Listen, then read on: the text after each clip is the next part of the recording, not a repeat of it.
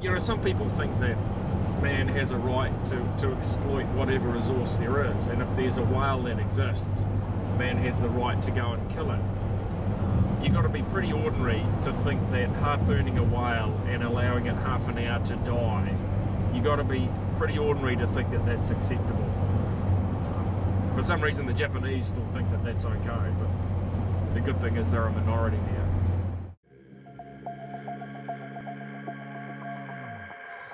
Thank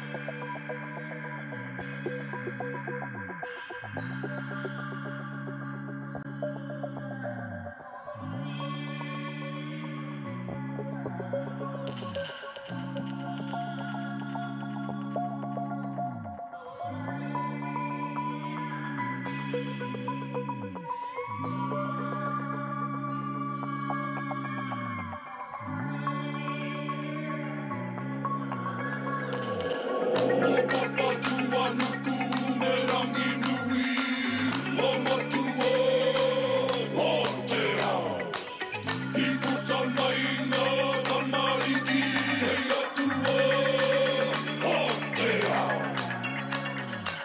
Here is our interpretation of the Japanese captain.